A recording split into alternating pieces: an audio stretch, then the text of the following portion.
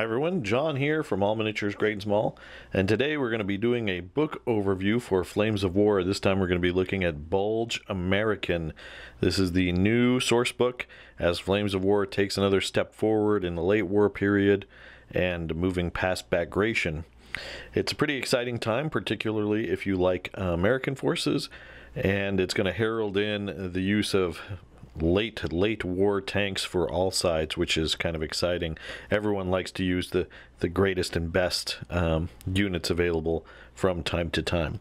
So Bulge American um, initial impressions does not disappoint. It does cover a lot of ground, though. Um, the title, Bulge American, is actually somewhat misleading because this book just uh, does not just cover the bulge, it covers other periods as well. In fact, the book covers uh, Court as well, and a lot of the activity immediately uh, preceding the Battle of the Bulge, as well as the time period afterwards, um, included in the old source book called uh, Bridge at Remagen. So you get late, late war stuff like um, Pershings and Super Pershings, were, which weren't even available in the Bulge per se. So it's a cool time, and uh, there's a lot of stuff here. So for those version 3 players out there, this one book is actually covering or replacing uh, multiple version 3 source books. Um, the There were several Bulge books, the Bridge at Remagen book, uh, all covered this time period. What we are leaping over is Operation Market Garden, um, and I really haven't seen a um, post or anything directly from Battlefront as to why they skipped over it, and if it's something they're going to circle back to eventually, or they're just skipping over it this this time period. I'm not sure. Um, a lot of stuff can be used for um, Market Garden, but uh, the fact that we're skipping over it is an interesting choice. That said, I am primarily an American player, so I'm kind of excited to to get this release. And um, I'm just going to go over really quickly what companies come in the uh, book because we get a lot of cool stuff. So, for the uh, Bulge American Force, and this book is broken up into different forces. The first grouping is called the Bulge um, stuff, where you get the 4th Armored Division, which gives you veteran M4 uh, Sherman Late Tank Company and a veteran M24 Chaffee Company. You also get the 7th Armored Division, which also includes a late Sherman Tank Company and Chaffee Company. And we'll talk a little bit about those differences there, but it's a, a difference in uh, uh, skill. In the uh, Bridge at Remagen section, we get the Battle Worn Armored Rifle Company. Um, and Battle Worn, we'll talk more about that later as well, is basically just a, a, lower motivation. They're veterans that have been on the front for a long time and uh, just, just don't have the morale that they used to. Um, you also have the um, Second Infantry Division, which you can be run as a battle weary rifle company. Uh, then you have more um, bulge based things, you have the 101st Airborne Division in Bastogne, which includes a Bastogne Parachute Rifle Company, as well as uh, a Bastogne Glider Rifle Company.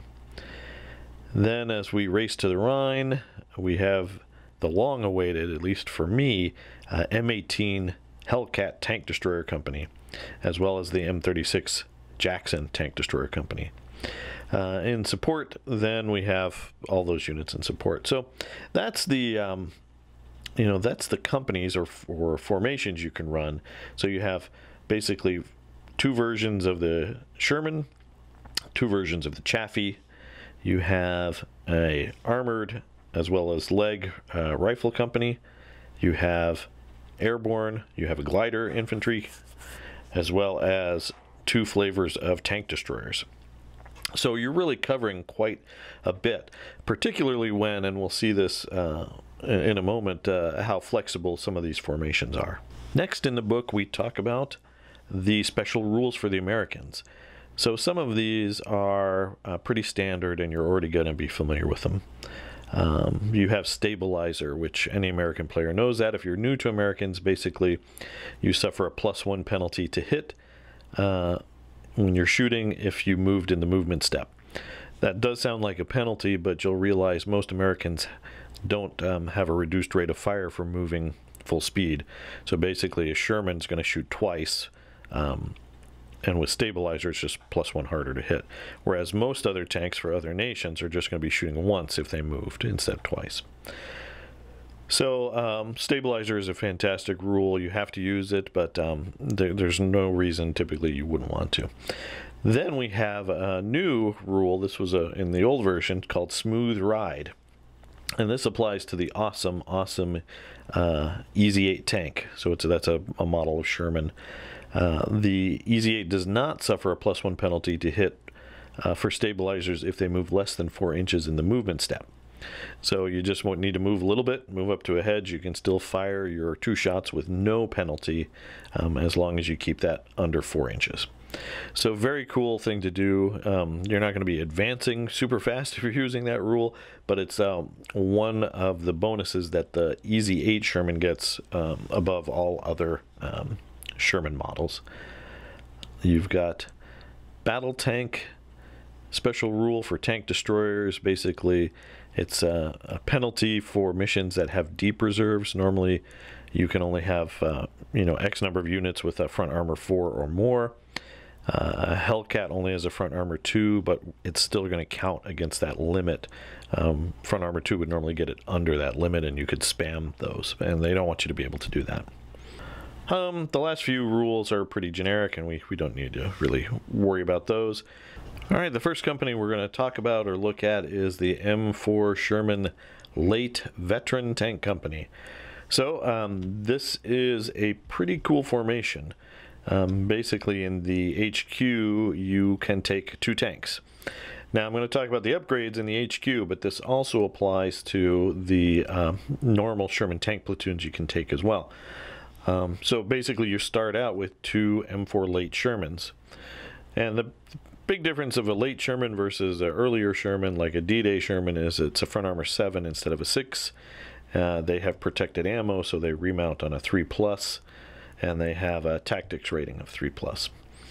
All right, so you can uh, replace or upgrade either of those tanks with uh, Easy 8s, um, or you could upgrade them with uh, just a regular 76 millimeter gun, and you can upgrade one of those to a jumbo, and that jumbo could either be a 75 millimeter version or a 76 millimeter version. So right there in the HQ company, you can take you could take two vanilla ones, you could take a Easy 8 and a jumbo, you could take two Easy 8s, you could take two Sherman 76 lates, and so on. There's there's a lot of ways you can do that depending on how you want to. Um, you know how you want to adjust with the points. I am also going to mention because I think this is important. Um, here is that the command cards, I think, for this release, if you're a serious American player, um, are uh, essential. The command cards I don't uh, feel I have always been essential for everybody. Uh, for all the previous books, some of them had some good cards, but this one I think is essential, and for two reasons. One is you can downgrade any late 75 millimeter Sherman to the D-Day version, just a regular M4 Sherman. So because you're spending all these extra points to upgrade to Sherman, to Easy 8s, to 76 millimeter, to Jumbos. The ones you don't upgrade, you can downgrade to the D-Day version Sherman and save yourself a few points there. Um, that's a card. It's not in the book though, so you do need the command card for that.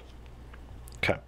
Um, the company itself, you have that HQ that we just talked about you have two compulsory slots. The first compulsory slot is either a um, Sherman late tank platoon or an M26 Pershing tank platoon. The second mandatory slot is an, another M4 Sherman platoon or M5 Stuart or Chaffee. Then you have a few additional slots which aren't required. One is an additional Sherman platoon. Then you have an artillery section that can either be an assault gun Sherman platoon or a Calliope Sherman platoon. So you have two options in that one slot. You could take a Super Pershing and you could take the ever popular uh, always essential armored um, mortar platoon, the 81 millimeter mortar. So that is, um, you know, there's two that's required, um, but you can add four more. So there's six slots, not including the HQ, in that formation, which is just fantastic. All right, the uh, M4 Sherman platoon is pretty good. You can take up to five. There's nothing new there. They're all the late version. You can upgrade any or all of them with Easy 8s. You can upgrade any or all of them with just regular 76 millimeter turret. Um, and you can replace up to one with a jumbo. And again, it's either you can choose either a 75 or 76. There's a lot of thought that's going to go into designing these platoons, and I'm going to do a separate video on that. But um, needless to say, again, you, have got a lot of options on how you build these platoons, and each platoon in the force could be a different uh, variation, right?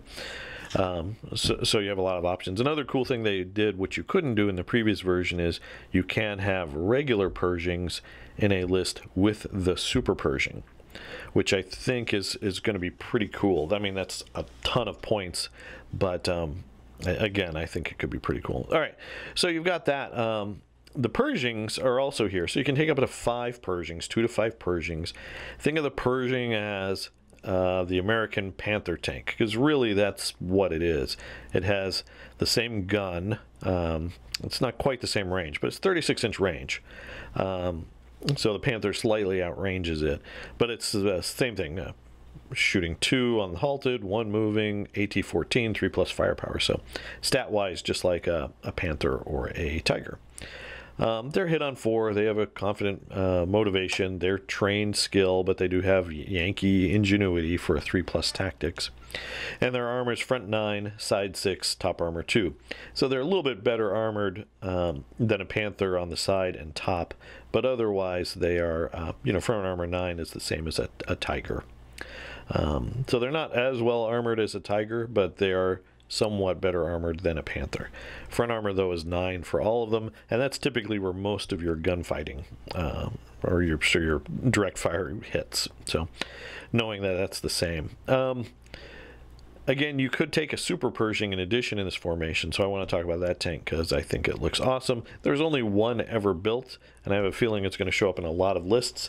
Um, the Super Pershing is expensive, though, but um, you know, you can buy, I think, like three normal Shermans for a Super Pershing, um, but you do get a Front Armor 13 American unit, which is really nice. Um, what that means, Front Armor 13, is you're impervious from the front to um, Panther and Tiger guns. Of course, once the German um, bulge books arrive, you're going to have King Tigers and probably Jagd tigers and all those things that have a much much higher AT that is going to make uh, front armor 13 even laughable. Uh, but the um, cool thing about the Super Pershing is its gun. It's got a 48 inch gun, anti tank 18, 3 plus firepower. So that's um, going to be pretty scary. I, I, mean, technically, it might be able to threaten. I don't know how they're going to point the um, the king tiger yet as far as armor goes, but if it stays the same as like the elephant did at 16, um, this gun is still going to have trouble. I mean, theoretically, it could, it could bail him out at long range, but um, that's it. Um, so the, the Super Pershing is cool, though. It, it gives you a unit that Panthers and Tigers can't really hurt from the front, which is pretty pretty big. Um, so you do have that. You can take uh, again in this platoon like uh, Stuarts and, and things like that. The 81 millimeter mortar, always a good uh, include for uh, you know a, a, very few number of points. Just have that extra platoon to anchor you, hide, and provide that uh, very important smoke line for you to move up your, your tanks. Okay, so that is the um, Sherman Late uh, veteran formation. Next up, we have the veteran M24 Chaffee Tank Company. The Chaffee is one of my favorite tanks, probably after the um, M4 Easy 8. Uh, the formation itself, you have an HQ of a Chaffee, and that is two Chaffees. And then you've got uh, your two required platoons of Chaffees, and those can be from two to five. Uh, the third platoon can either be Chaffee's or a late Sherman platoon. And then they can also take armored 81 millimeter mortars. And then in the artillery slot, they can either get uh, M8 Scott assault guns or M4 Sherman assault guns. So um, not quite as many options as the veteran Sherman company we just looked at, but uh, still enough here to anchor the formation and not have your formation broken quite so easily. Okay, um, the Chaffee itself, we'll talk a little bit about the Chaffee. Think Stuart. It's, it's like a Stuart. It's front armor 4, side armor 3, top armor 1. So really you're not buying it for the armor, uh, but it is a fast tank.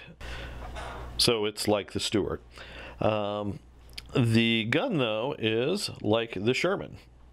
So it has a 20 inch, 28 inch range, halted, moving rate of fire of 2, anti-tank 10, 3 plus firepower, smoke, and stabilizer.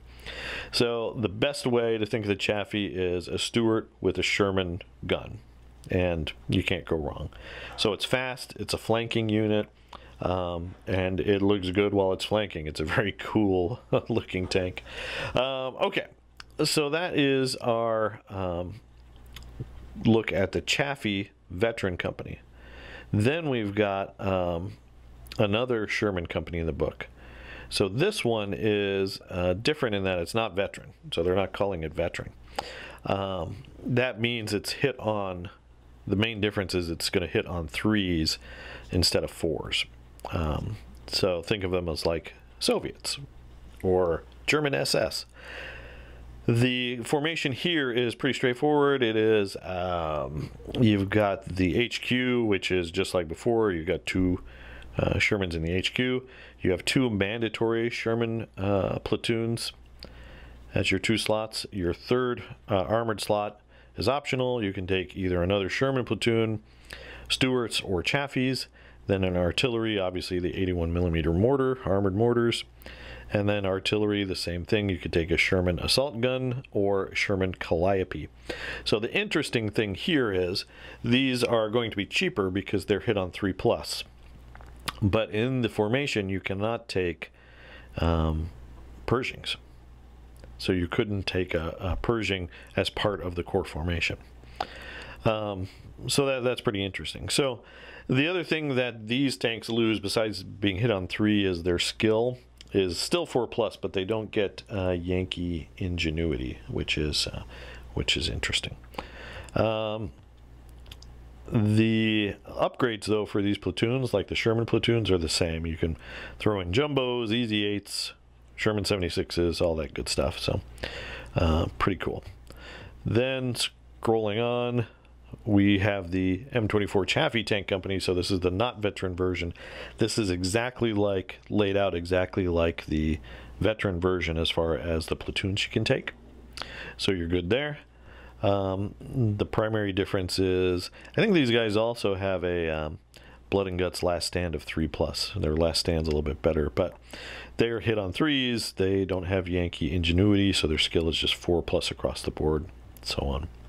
So um, very cool. If you want to run a horde of American armor, you look at those two uh, companies. All right, then you have the Battle Weary Armored Rifle Company. So armored rifle companies are one of my favorite uh, forces in Flames of War. I love it because I think an armored rifle company is, um, you know, just uh, has it all. It's it's got pretty much everything you need: machine guns, anti-tank, mortar, uh, vehicle, it's cool. All right, so the Battle Weary Armored Rifle Company has an HQ, which is pretty standard. It's just uh, some dudes and a half track. Two compulsory armored rifle platoons. You can take a third, and then um, the other units in the formation are a machine gun platoon, an anti-tank uh, gun platoon, an assault gun platoon, which is the uh, Scott, the, the M8 Scott, and then an 81 millimeter mortar platoon. So you can really buff those guys up with these other um, optional uh, unit or uh, formation, not formations, these optional platoons uh, to keep them on the board. The main challenge with these battle weary uh, formations is um, their motivation. So they're, these guys are hit on fours, so they're you know they're careful, but their motivation is reluctant five plus. So that is um, that's can be pretty tough to deal with. Um, but we do have uh, they do have a blood and guts rally of four plus. They're also trained at a four plus, uh, as well as having Yankee ingenuity at a three plus. But the reluctance, what you got to get over with it. Um, with a five plus reluctant, that motivation would be used for things like um, trying to counterattack and assault, um, and and things like that.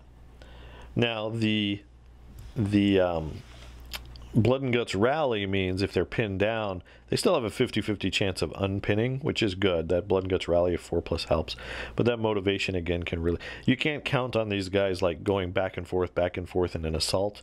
You might get one if you're lucky, two rounds of assault uh, before these guys are going to want to break off. But with that said, it's a cheaper way to get uh, armored rifle platoon. And then if you want a more veteran one, you could look at the D-Day version, uh, which is, you know, the, we'll say elite version. Okay.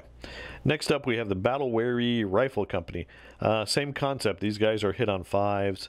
Um, there's a lot of um, options you can add. You have the HQ plus two battle weary rifle platoons. That's the required units. You can add a third. You can add a couple of mortar platoons. You can add a Sherman platoon or a 105 millimeter cannon platoon, machine gun, uh, and two up to two 57 millimeter anti-tank gun platoons. So you can add again quite a bit to that with a um, you know, with a full rifle platoon costing less than 10 points, um, you can really stack your core formation with a lot of things so that your formation doesn't run away or doesn't break that way. But you're still having to deal with that reluctant 5 plus motivation. The rifle platoons themselves are pretty straightforward 10 stands plus a bazooka.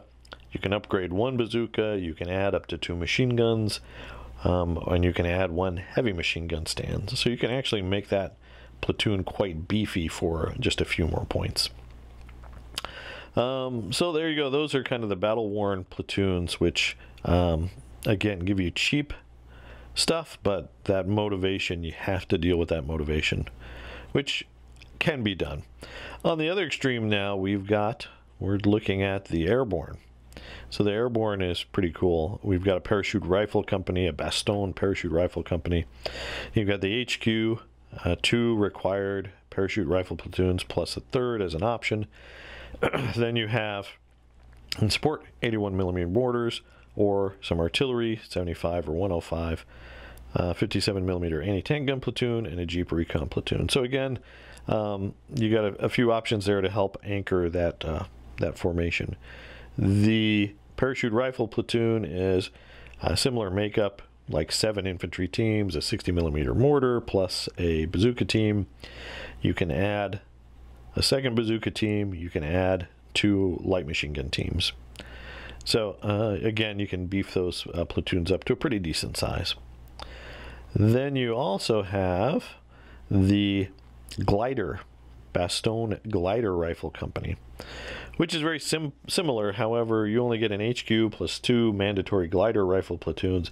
You don't have the option to take a third glider rifle platoon. Uh, then you have pretty much similar options. You've got an 81 millimeter mortar platoon, machine gun platoon, 57 millimeter anti-tank gun platoon, and in the artillery, 75 or 105 millimeter artillery. So again, you can uh, anchor that that company, which is always a good idea. Next, we're looking at the M18 tank destroyer company, the Hellcat. Um, the Hellcat is one of my favorite units in the game.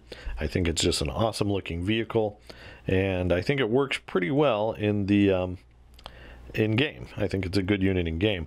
So the tank destroyer company for the Hellcat, you have a mandatory uh, tank destroyer HQ, uh, two mandatory tank destroyer platoons plus an optional third. Then you can take a couple of well, you can take up to three M20 security sections. So um, interesting formation in that the um, the HQ obviously isn't a tank, so it's pretty cheap. It's just two uh, M20 of those armored scout cars. Then the uh, Hellcats themselves are pretty uh, pretty good. Um, they are less than M10s. They don't have the armor of the M10, but they are hit on four. They are uh, four plus uh, confident motivation, three up uh, veteran skill, which is very important for uh, using seek, strike, and destroy when you're trying to roll a three up to blitz and a three up to scoot and shoot. Uh, they do have a 76 millimeter gun, which is pretty good. It is uh, rate of fire 2, halted 1, anti tank 12, 3 plus firepower, and the no HE rule. So pretty standard standard stuff there. Their gun does not have the stabilizer like the Shermans do, though. So uh, it's only rate of fire one when moving. Hopefully you can leverage the seek, strike, and destroy rule and that three up skill to blitz and uh, still be able to shoot at your full rate of fire. Um, you can take up to four into the platoon. You either take two or four, um, but they're pretty solid tanks. And again, being less than M10s, it makes it plausible to have, um, you know, uh, a full platoon, or sorry, a full formation of eight Hellcats and the HQ for under 40 points.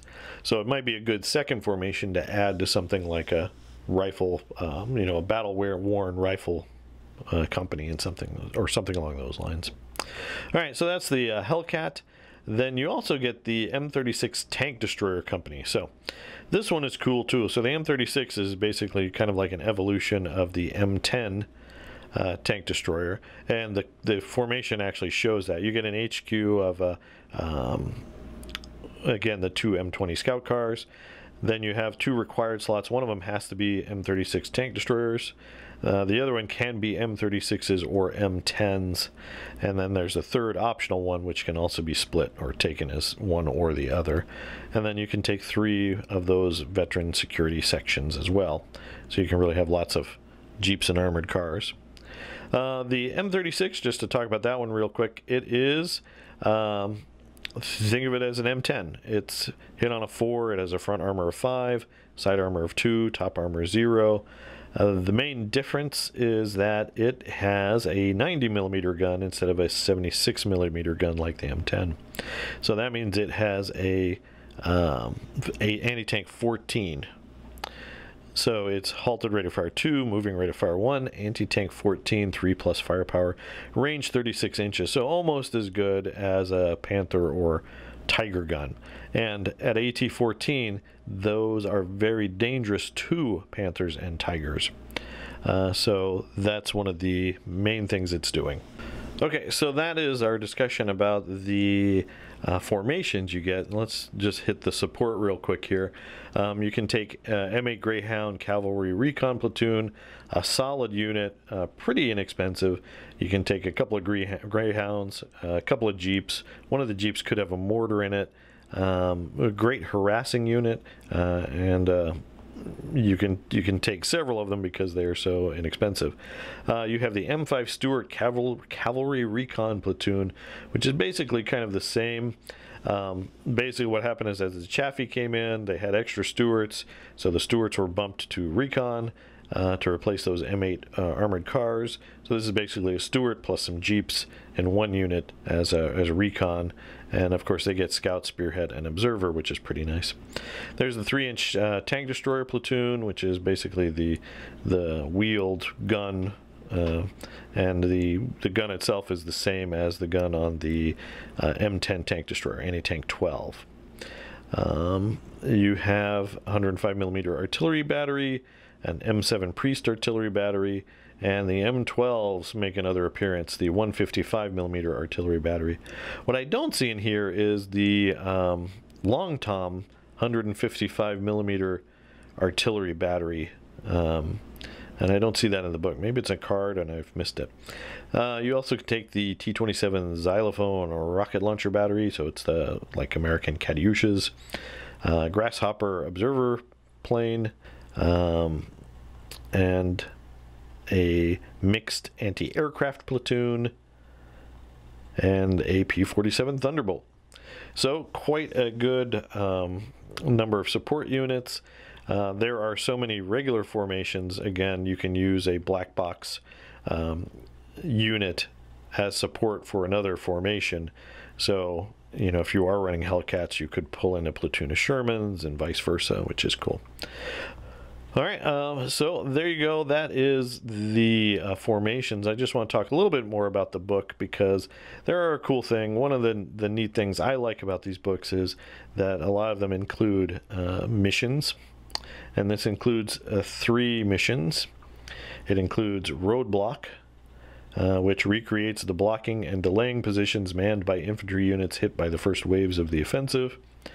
Uh, Elastic Defense recreates battles on the perimeter of Bastogne, where a porous infantry line would allow tanks to pass, to be dealt with by supporting armor, only to firm up when faced with enemy infantry. And then Nuts.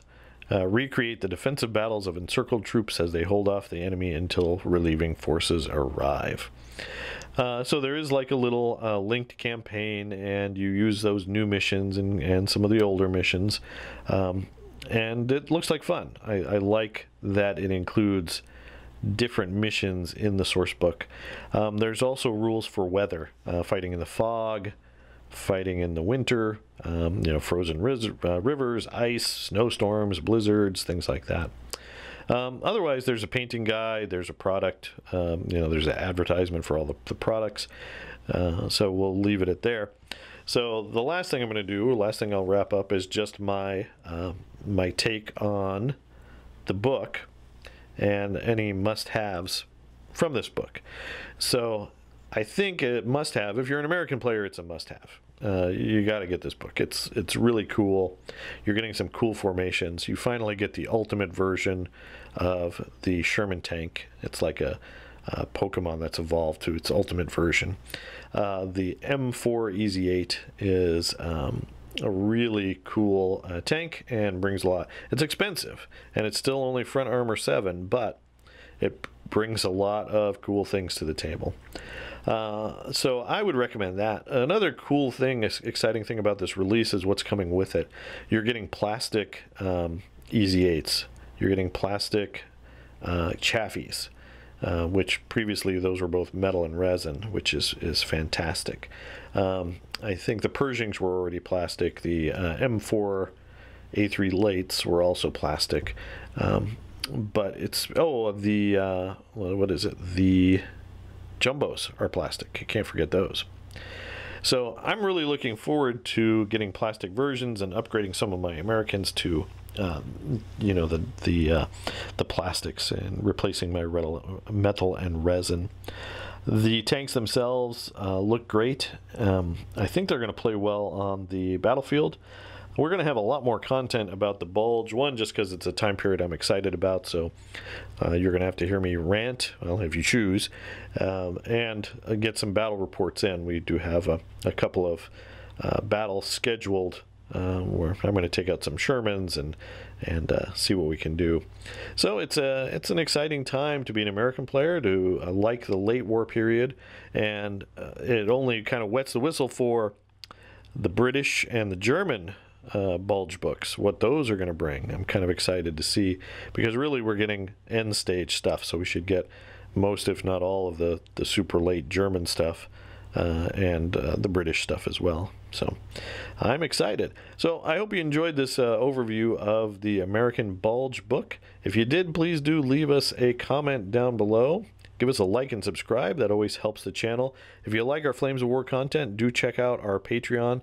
Uh, Patreon um, subscribers will get access to a battle report exclusive to them every month, and that will include uh, Bulge battle reports as we move forward. As always, thanks for watching, and keep on gaming.